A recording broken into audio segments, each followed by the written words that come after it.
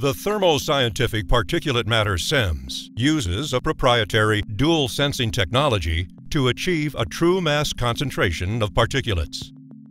Light scattering nephelometry yields real-time precision, while a tapered element oscillating microbalance, TEOM, acts as an internal mass reference calibration for increased accuracy. Let's take a look at how the TEOM works. A coil driver pulsates against a magnet on the tapered element to initiate an oscillating movement. An opposing magnetic field maintains the natural oscillation. An air sample starts to flow through the system. Particulates collect on a filter set on top of the TEOM. Over time, particulate mass increases and weighs down against the TEOM, reducing oscillation frequency.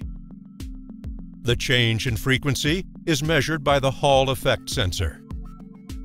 Unlike the light scattering nephelometer, which can be affected by changes in particulate characteristics, the TEOM is unimpacted and calibrates the response of the nephelometer by providing a real-time mass reference concentration.